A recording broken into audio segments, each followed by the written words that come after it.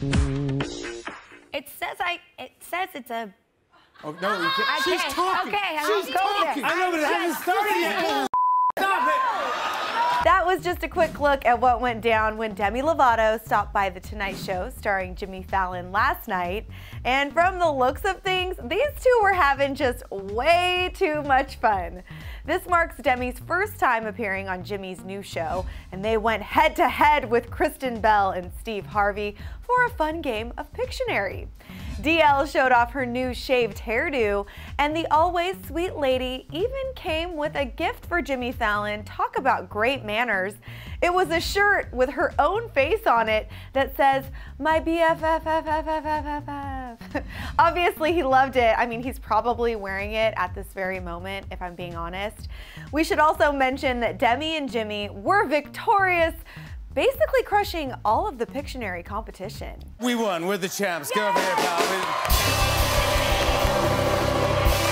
Thank you for playing. Steve, thank you for playing. Kristen Bell, Steve Harvey, Demi Lovato.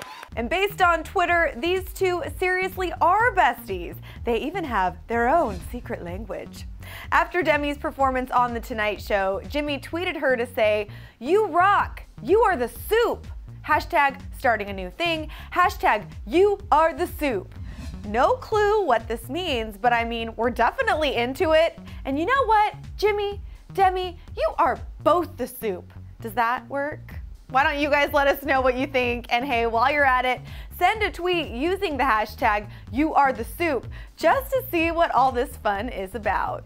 Be sure to check out Demi's Neon Lights tour if you haven't already. It's running through March 30th. And if you love Demi Lovato, click right on over here to check out our exclusive interview with her backstage at her tour stop right here in Southern California. For more 411 around the clock, stick with us right here at Clevver, and you can do that by subscribing. I'm Joslyn Davis. Thanks for watching.